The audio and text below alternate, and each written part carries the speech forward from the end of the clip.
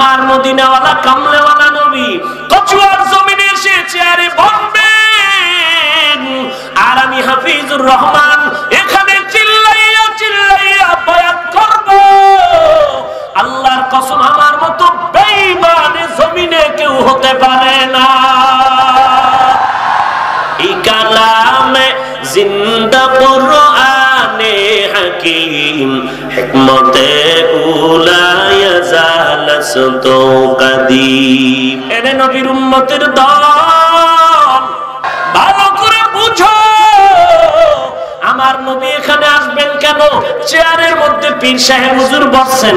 Towel দিয়া ঢেকে রাখছি বরকত। এখানে কেউ বসবে না, আমার পীর সাহেবের চেয়ারে তার বরকতের জায়গা। পারলে চুমু দিয়া দোয়া নাও, এখানে তুমি বসতে পারবা না, বেদবি হবে। এই যদি হয় পীর সাহেবের চেয়ারের মূল্য, বলো আমার মদিনাওয়ালা নবীর চেয়ারের মূল্য কেমন হবে? এই কচুয়া মসজিদের মধ্যে যদি নবী আসে, যেখানে নবীর কদমটা পড়বে, স্বর্ণ দিয়া বাদাই করবে উম্মতেরা। আসলে এত ঝামেলা উম্মতের মাঝে কেন? একমাত্র কোরআন হাদিসের এলেমের খবর না। रबूबियत, खुदा की आए जहा नबूवत मुस्तफ़ा की है वहाता जहा तक आए रबूबियत खुदा का, वहाँ तक है नबूवत मुस्तफ़ा का। नीचे कसदर मुल्क ऊ अंबाज ने कौले ऊरा लहने नए आवाज नए खींचे कसदर मुल्क ऊ अंबाज ने कौले ऊरा लहने नए आवाज नए আল্লাহর কোনো লাহান নাই কোনো আওয়াজ নাই কোনো আকার নাই কোনো আকৃতি নাই ও মালিক, বলেন, আমরা আপনাকে দেখতে পারি না তো কেমন করে আপনার অনুসরণ করব? আল্লাহ বলেন, আমি বড় দয়াময়। আমি বান্দা বান্দির উপরে এমন কিছু চাপায় দেই না যা বান্দা পালন করতে অক্ষম হবে।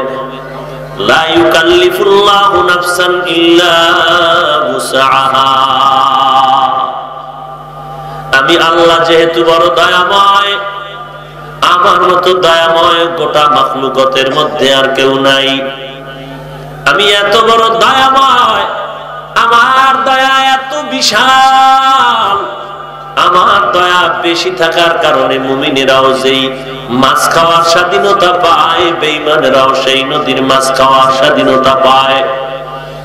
আমি আল্লাহ বড় দয়াময় হওয়ার কারণে মুমিন যেই রাস্তা দিয়ে চলার স্বাধীনতা পায় বেইমানেরাও সেই রাস্তা দিয়ে চলার স্বাধীনতা পায়। আমি আল্লাহ দয়াময় হওয়ার কারণে আজ মুমিনেরা যেই গাছের ফল খায়, জমিনের ফসল ভোগ করে সেই গাছের ফল, ফসল ভোগ করার স্বাধীনতা পায়। আমি বড় দয়াময়।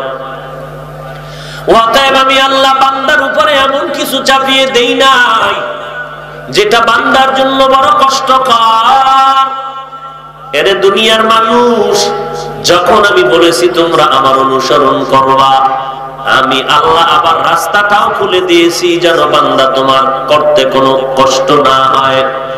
আব্বা যান, ছোট বাচ্চা নিয়ে কচুয়া বাজারের মধ্যে যখন ঢুকলেন, বন্ধুর সাথে মোলাকাত হয়ে গেল। বন্ধুটা দোকান থেকে চকলেট চিপস আর বিস্কিট কিনলো।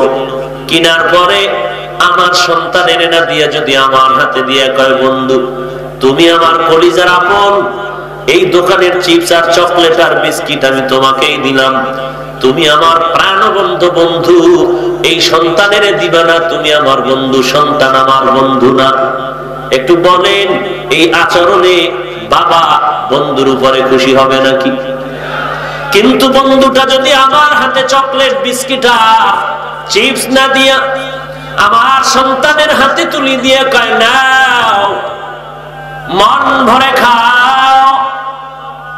তখন আমার সন্তানের হাতে আমার বন্ধু যদি চিপস আর বিস্কিট আর চিপস দিয়ে দেয়, চকলেট দিয়ে দেয়, আমি খুশি না বেজার হব। আল্লাহ বলেন, এরে মানুষ এই জমিনের মধ্যে আমি আল্লাহ একজন বন্ধু বানায় পাঠিয়েছি, জানি কেমন সে আমার বন্ধু? ইব্রাহিম নবী আমার বন্ধু, মুসা নবী আমার বন্ধু ইসমাইল আলাইহিস সালাম আমার বন্ধু, ঈসা নবী আমার বন্ধু। তবে ব্যবধানটা কি জানো? মোহাম্মদ আমার বন্ধু। তবে ব্যবধান শুনে নাও, সারা দুনিয়ার সমস্ত আম্বিয়ায় কেরাম আমি আল্লাহ পাকের আশেক। আর আমি আল্লাহ নিজেই হলাম মোহাম্মদের আশেক। আমি এমন বন্ধু তোমাদের জন্য পাঠায় দিলাম। একটু ভালো করে নজর করে দেখো।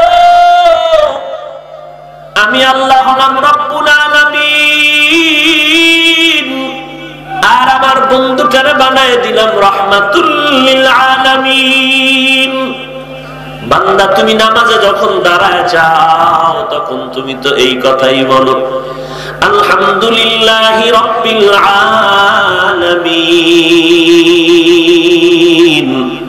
আর রহমানির মালিকিয়া মালিকি ইয়াউমিদ্দিন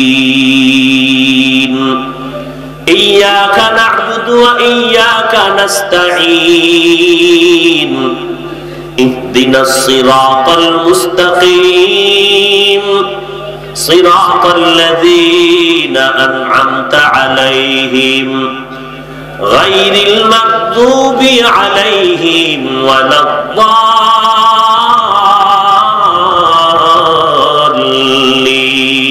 الضالين আমি আল্লাহ হলাম গোটা আলামিনের জন্য রাম আর আমার বন্ধু মুহাম্মদ হলেন গোটা আলামিনের জন্য রহমত রবুবিয়ত খুদা কি আয়ে জাহাত নবুয়ত মুস্তফা কি है वहां जहां तक आए रबूबियत खुदा का वहां तक है नबूवत मुस्तफा का কেমন একজন বন্ধু আমি তোমাদের জন্য দিলাম? আমি আল্লাহর মতো যেমন কোন আল্লাহ না গাই আমার বন্ধু মুহাম্মদ মাখলুকতের মধ্যে তার মতো একজন দ্বিতীয় কোন নবী নাই, মুহাম্মদ নাই। আমি আমার বন্ধুটারে এমন একটা কিতাব দান করেছি, কোরআন। এটা এমন একটা কিতাব। আমার বন্ধুর মতো যেমন কোন বন্ধু নাই। আমার বন্ধু মুহাম্মদের মতো যেমন কোন মুহাম্মদ নাই, আমি আল্লাহর গুণের মতো যেমন কারও গুণ নাই, আমার বন্ধু মুহাম্মদের গুণের মতো কারও গুণ নাই। আমার বন্ধুর যে কিতাব দিলাম, কোরআন এমন কিতাব যে কিতাবের মতো আর একটা কোনো কিতাব নাই। আমি আল্লাহ কেমন জানো, আমার কুদরতের দিয়ে তাকাইলেও সব আমার বন্ধু মুহাম্মদ কেমন? আমার বন্ধু মুহাম্মদের দিকে তাকাইলো তেমন সওয়াব। আমার বন্ধুকে যে কিতাব দান করেছি, ওই কোরআন শরীফ ফুলিয়া তাকায় থাকলেও উম্মতের সওয়াব। আ ইমামুল আউয়ালিন আখিরিন বহর সদকা রহমাতাল লিল আলামিন সাইয়্যিদুল কাউনাইন খাতমুল মুরসালিন আখিরামত بود فخر الأولين আল্লাহ তাআলা বলেন ও দুনিয়ার মানুষ তোমরা যদি আমি আল্লাহর অনুসরণ করতে চাও আমি সুন্দর একটা প্রেসক্রিপশন তোমাদের সামনে প্লেস করে দিলাম।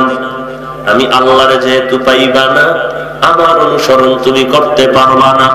আমার বন্ধু মুহাম্মদের যদি অনুসরণ করো, আমি আল্লাহর অনুসরণ হয়ে যাবে, আমি আল্লাহর মোহাব্বতের বন্ধনটায় আবদ্ধ হয়ে যাওয়া। বান্দা, তুমি দলিল নিয়ে যাও। আল্লাহর নবীকে আল্লাহ পাক বলেন, কুল ইন কুনতুম তুহিব্বুনাল্লাহ। ফাত্তাবিউনি ইউহিব্বুকুমুল্লাহ ওয়া ইয়াগফির লাকুম যুনুবাকুম ওয়াল্লাহু গফুরুর রহিম।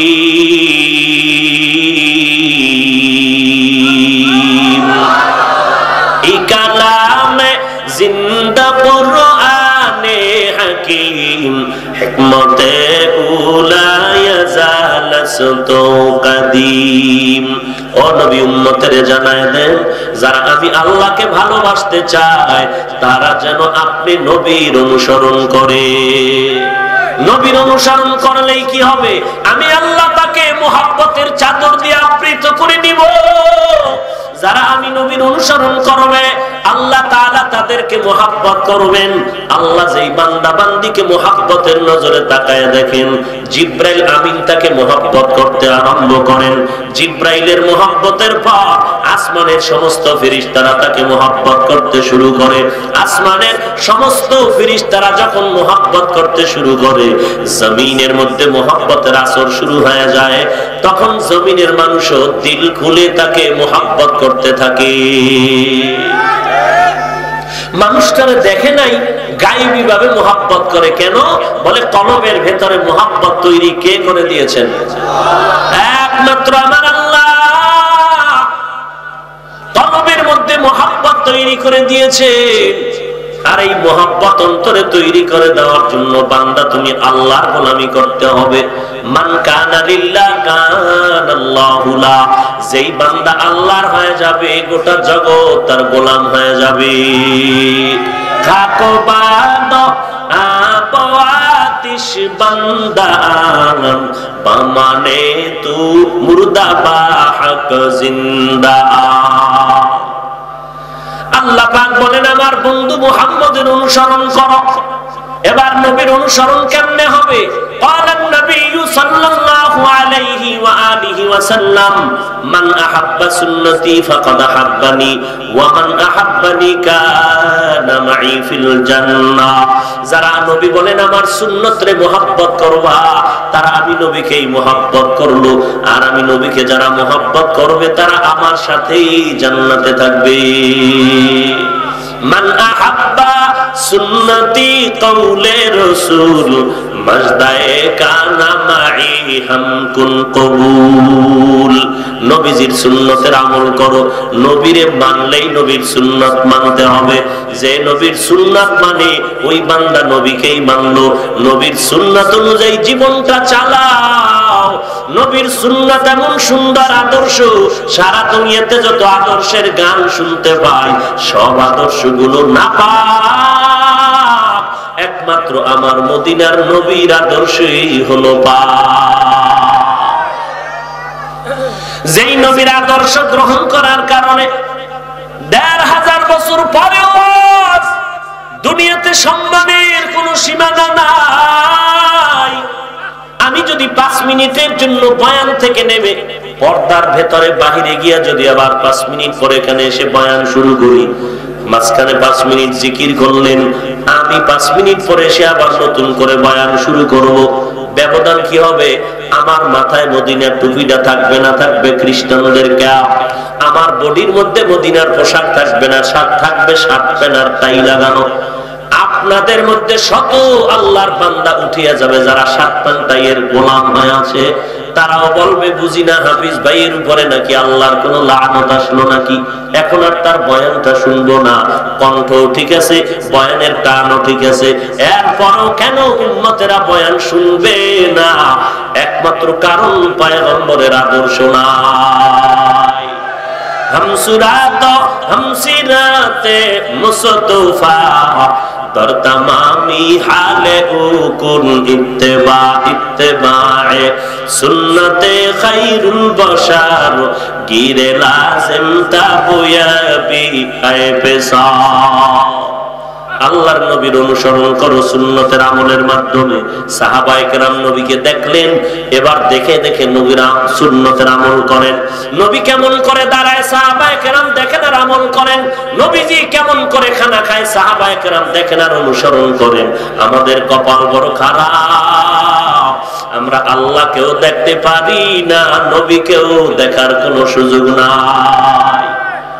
কারণ নবীজি বলেন, আমি কেয়ামত পর্যন্ত ইন্তেকালের পরে মদিনাতুল মুনাব্বারা, রওজায়ে পাকের মধ্যে আমি জিন্দা অবস্থায় নামাজের হালাতে আমি আল্লাহর মারেফতের মজা গ্রহণ করতে থাকব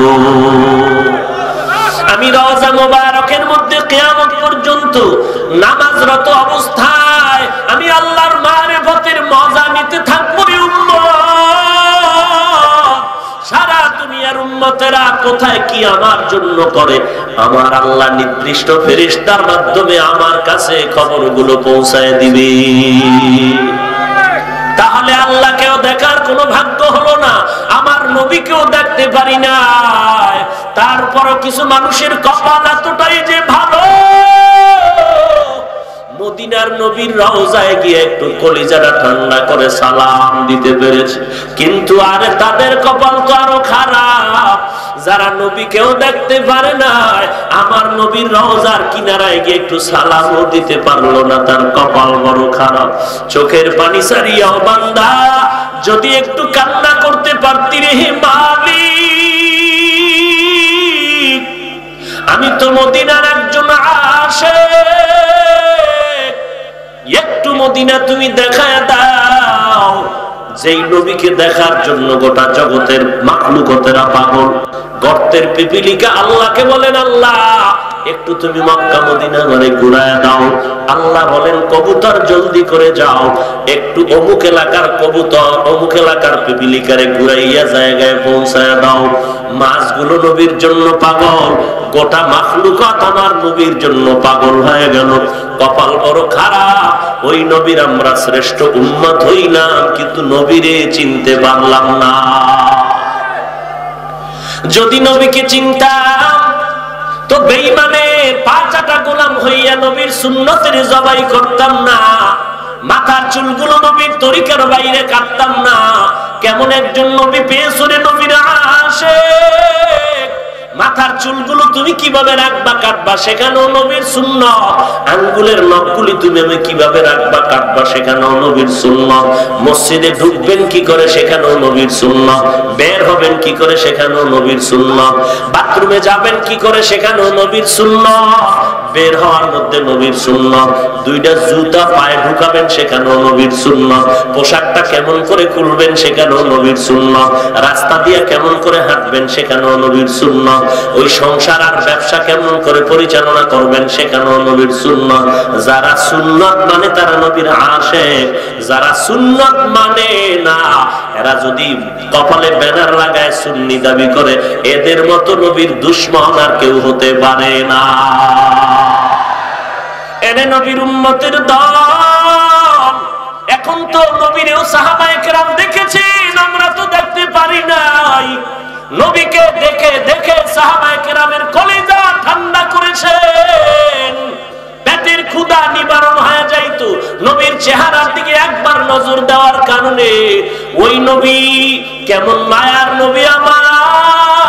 আমরা? তো দেখতে পারি নাই। কেমন করে নবীকে দেখব? একজনে কয়, নবী তো মাঝে মাঝে কচুয়া আইসা উম্মতের খবর নিয়ে যায়। কি আইয়ে না? কথা বলে না। নবী তো মাঝে মাঝে ঢাকা বাইতুল মুকাররমে আসেন, উম্মতের খবর নিতে। কি কথা বলেন না কেন? আসেন না? কি বলেন আপনি? আপনার খবরই নাই। কি আর খবর নিতে পারবেন। স্টেজের মধ্যে। আমার নবী মদিনা থেকে সেই চেয়ারের মধ্যে বসবেন তো আমরা দেখি। পরে নবীর একটু শুনে নাও। আমার মদিনাওয়ালা নবী, কচুয়ার জমিনে এসে চেয়ারে আর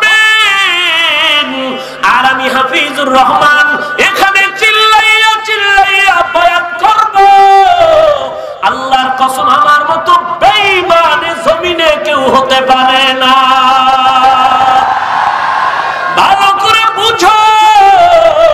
আমার নবী এখানে আসবেন কেন? চেয়ারের মধ্যে পীর সাহেব হুজুর বসছেন। তাওয়াল দিয়া ঢেকে রাখছি বরকত। এখানে কেউ বসবে না, আমার পীর সাহেবের চেয়ার এটা বরকতের জায়গা। পারলে চুমু দিয়া দোয়া নাও, এখানে তুমি বসতে পারবা না, বেদবি হবে। এই যদি হয় পীর সাহেবের চেয়ারের মূল্য, বলো আমার মদিনাওয়ালা নবীর চেয়ারের মূল্য কেমন হবে? এই কচুয়া মসজিদের মধ্যে যদি নবী আসে, যেখানে নবীর কদমটা পড়বে, স্বর্ণ দিয়া বাদাই করবে উম্মতেরা। আসলে এত ঝামেলা উম্মতের মাঝে কেন? একমাত্র কোরআন হাদিসের এলেমের খবর না দ্বিতীয় কোন মুরব্বীও তারা মানে না। মনে যখন যা চায় তাই বলে, তাই করে। মুরব্বীদের খবর নাই, ও ভাই। তোমার মাথার চুলগুলো নবীর তরিকার বাহিরে। নামাজ নাই, পর্দা নাই, সুন্নতির খবর নাই। অথচ তুমি সুদের টাকায় ব্যবসা করো। সুদের টাকায় ব্যবসা করিয়া তুমি নিজের গর্ভধারিণী মায়ের সাথে জিনার গুণা নিয়ে কাঁধে করে দৌড়াইতেছ। তুমি সুন্নি দাবি করলেও কি হবে, না করলেও কি হবে? তুমি তোমার মায়ের সাথে জিনার গুণা কাঁদে নিয়ে দৌড়াচ্ছ। তুমি টের পাইছো তুমি বাবার কি সুসন্তান?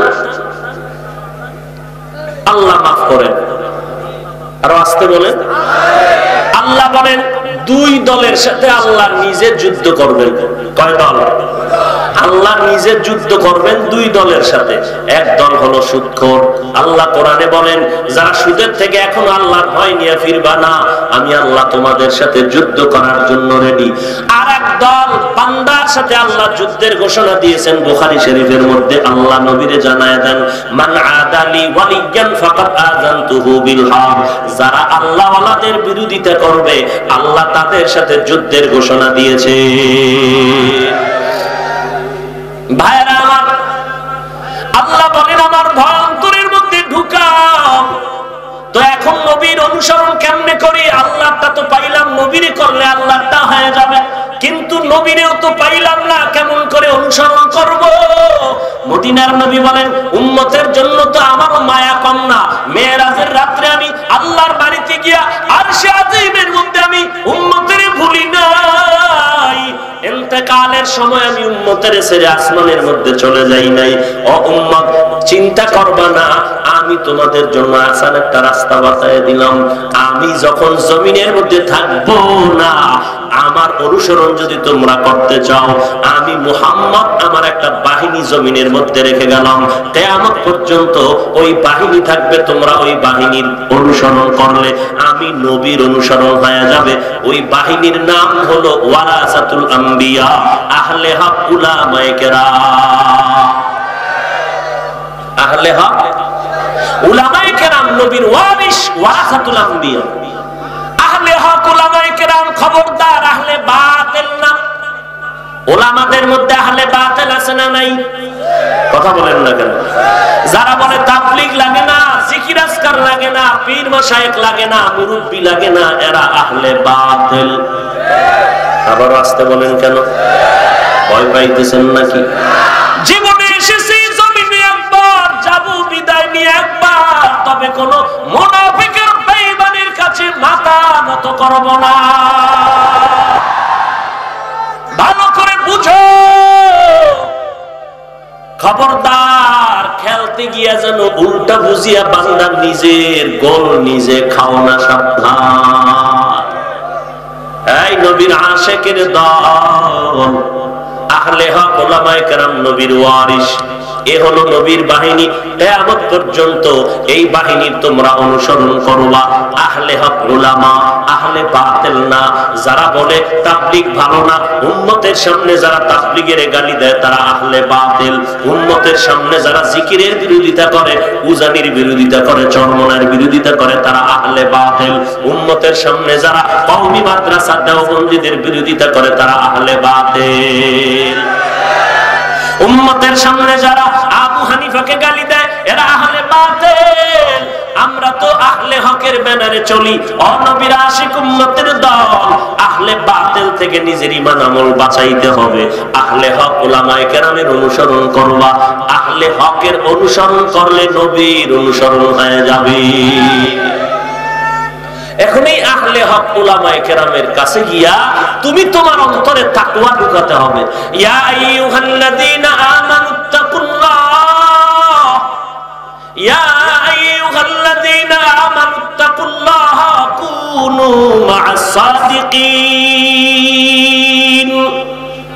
আল্লাহকে ভয় করো। সত্যবাদী আল্লাহ ওয়ালাদের বন্ধু হয়ে যাও। আল্লাহ কারা? আহলে হকল আমাদের গুণ কি? আল্লাহ কোরআনে বলেন, ইন্নামা ইয়াকশাল্লাহ আল্লাহ বলেন, যারা আহলে হক তারা আমি আল্লাহকে বেশি ভয় করবে। আল্লাহকে ভয় করার মানে ইচ্ছা করে গুনাহ করবে না। অনিচ্ছায় যদি গুনাহ হয়, তওবা করতেও বান্দা দেরি করবে না। হারকে দারাত খৌফে হাপদার দিল জন্নাতুল মাওয়া দেহত উরা মাকা আল্লাহ পাকের ভয় অন্তরের মধ্যে ঢুকা আল্লাহর ভয় যখন অন্তরে আসবে, বান্দার গলায় ছুরি আসবে, আল্লাহকে বেজার করে কোনো কাজ করবে না রে মুমিন। আর ওই আল্লাহর ভয় যদি অন্তরে ঢুকাইতে চাও, যাদের অন্তরে আল্লাহর ভয় আছে, এমন খাঁটি আল্লাহওয়ালাদের কাছে যাও। যাদের চেহারা দিয়ে তাকাইলে গুনার কথা ভুলে যায়, ন্যাক আমলের আগ্রহ পয়দা হয়। যাদের বয়ান শুনলে চোখে পানি আসে রে এই জমিনে তাকাইয়া দেখো, আল্লাহওয়ালাদের সোহবতে গিয়া আজকে কত বান্দা নামাজি হয়ে গেল।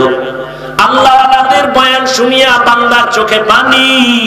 কিন্তু বড় দুঃখ লাগে কোন মুসলমান যদি ওয়াজের প্যান্ডেলে বসে কান্না করে কেন? ওরে কপাল পোড়া, তোমাকে তো উল্টা জিজ্ঞাসা করা দরকার। কোরআনের বাগানে বসছো, কাঁদো না কেন জবাব দাও। সাহাবা জান্নাতের সুসংবাদ পাইয়াও জীবনটা ভর কান্না করে জীবন কাটাইছেন। আবু বকরের কান্নার আওয়াজ, উমরের কান্নার আওয়াজ, উসমানের কান্নার আওয়াজ। হযরত আলীর কান্নার আওয়াজ, আমার নবীর কোন গুনাহ নাই। এরপরও সারাটা রাত নামাজে কাটায় দিলেন কান্নার আওয়াজ। আজকে উন্মতের চোখে পানি না নাই। আল্লাহ বলেন, বেশি কাজও কম হাসু। ফালিয়াজহাকু কালিলা ওয়ালিয়াবকু কাসীরা।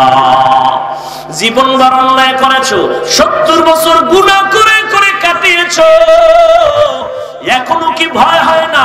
এই মহামারী করোনার মধ্যে তাকায় দেখো এটা যুব তোমার আমার বয়সের যুবকটা কবরে চলে গেল। তোমার আমার বয়সের থেকে কম বয়সের যুবক কবরে চলে গেল। তুমি কয়দিনের যৌবনের বাহাদুরি করবা ওই যে তাকায় দেখো, জীবনের বড় বাহাদুর জমিনে ফেরাউন নমরুদ হামানের কি হালাত? তাকায় দেখো, ফেরাউনের নাম নেওয়ার কোন মানুষ এই জমিনের মধ্যে নাই। আছে নাকি? কোন বেইমানের মধ্যেও পাওয়া যাবে না, ফেরাউন নাম। এত বড় টাকা, এত বড় ক্ষমতা, অথচ তার নাম শুনলে সবাই ঘৃণা করে। কচুয়ার মুসলমান, ওই ফেরাউনের ঘরে তার আপন স্ত্রীর নাম কি? আসিয়া। আল্লাহ তাআলার এমন প্রিয়া পেয়ারা বান্দি হয়ে গেল। আল্লাহর নবী মিরাজে যাইতেছেন হঠাৎ নাক মোবারকের মধ্যে জিব্রাইল কিসের ঘেরান আমি পাইলাম। বলে ফেরাউনের স্ত্রী আসিয়ার কবর থেকে সেই ঘেরান আসতেছিল। এরে নবীর দল। আল্লাহ বলেন, পয়গম্বর ময়দানে এই আসিয়ার সাথে, রসুলের সাথে বিবাহের ব্যবস্থা হয়ে যাবে। এরে মা, এরে আম্মা জান, এই মাদ্রাসায় মিয়া শোক সুবাসার ঘেরান ছড়াচ্ছে দুনিয়ায়। আপনার কি মনটা চায় না একজন হাফেজে কোরআনের মা হয়, কবরে যাবে? আপনার ইন্তেকালের পরে সন্তান জানাজার ইমাম হয়, নামাজ পড়াবে। এরে আম্মা যান আপনার সন্তানটা কবরের কিনারায় গিয়ে কোরআন তেলাওয়াত করে চোখের পানি ছেড়ে দোয়া করবেন। ওই ফেরাউনের ঘরে থেকে আসিয়া যদি আমার আল্লাহর গোলাম হতে পারে রে মা আপনার স্বামী তো ফেরাউনের মতো, আপনাকে নামাজে বাধা দেয় না। রোজা রাখলে বাধা দেয় না, কোরআন তেলাওয়াত করলে বাধা দেয় না। বরং আমগো সাথে দেখা হলে শুকর আদায় করে, হুজুর। আমি যদিও নামাজ পড়ি না, রোজা রাখি না, তবে আমার ঘরের স্ত্রী বড় নামাজি, বড় আল্লাহওয়ালা। ও আম্মা জান, ঘরের পুরুষের থেকে একজন মহিলার আদর্শওয়ালা বেশি হতে হবে, কারণ তার ঘর থেকে সন্তান আসবে, ওই সন্তান আদর্শওয়ালা যদি হয়, একটা সন্তানের আদর্শ দিয়েই সম্ভব সমাজের অন্ধকার দূর করা। আপনার সন্তান এসপি হবে ডিসি হবে এমপি হবে, মন্ত্রী হবে, আপনার সন্তান কচুয়ার ডাক্তার হবে, ঢাকা, বাংলাদেশের বড় ডাক্তার, ইঞ্জিনিয়ার হবে।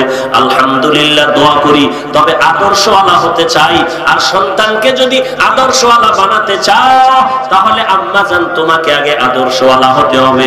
আর মদিনাওয়ালার আদর্শ ছাড়া না পা ভালো আদর্শ জমিনের মধ্যে আর কোনোটাই হবে না। এরে আম্মা জান ও কলিজার টুকরা যুব আজকে পায়ে হাত রেখে বারবার পড়ো পর্দা করো, মা বাবার খেদমত করো। এরপরও তুমি রাজি হও না। আজকে আমি যদি টুপিদারি ফালাইয়া শার্ট প্যান্ট পরে যদি গান বাজাইতাম আর নামাজ বাদ দিতাম, কে বাধা দিত?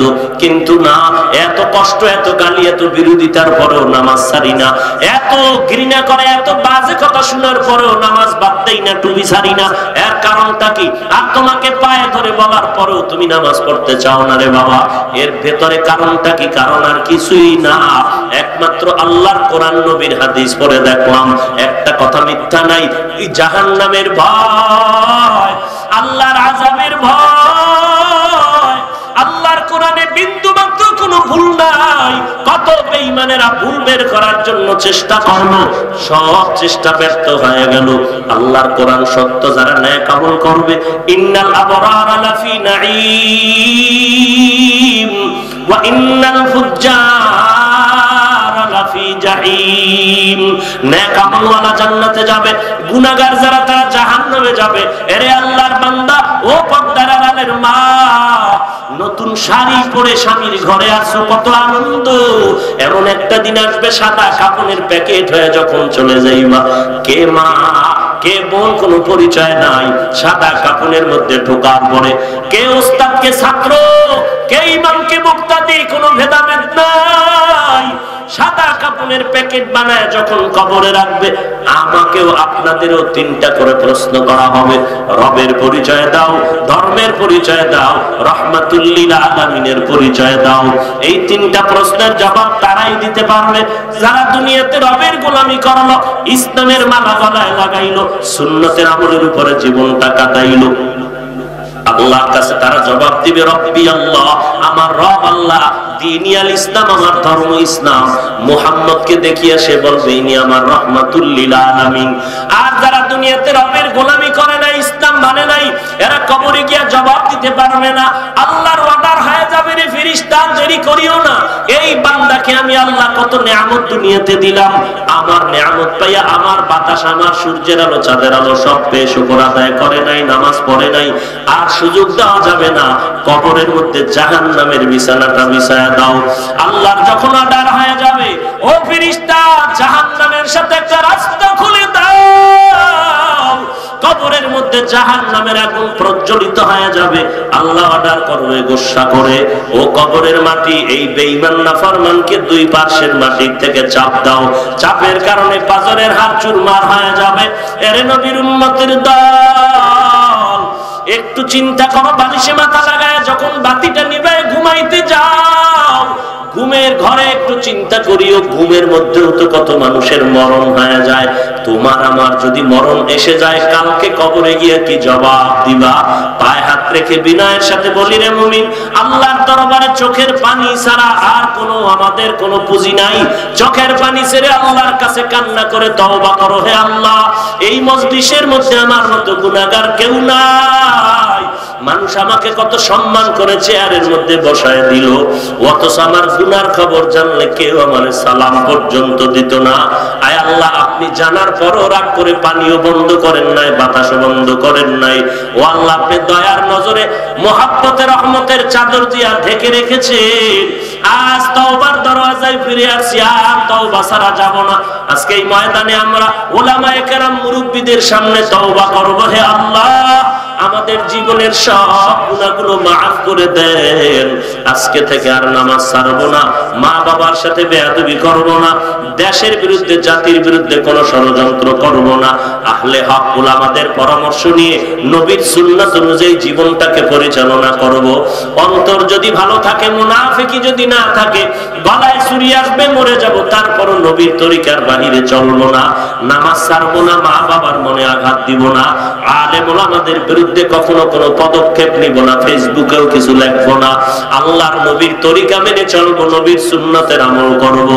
তওবা করার যদি নিয়ত হয়, খাঁটি তওবার নিয়তে দুটো হাত আমার আল্লাহকে দেখায় আয় আল্লাহ, আমাদের হাতগুলো কবুল করে নেন, আমাদের তওবা কবুল করে নেন, আমাদের তওবার উপরে মজবুত হয় চলার মতো তৌফিক দান করেন, আমিন।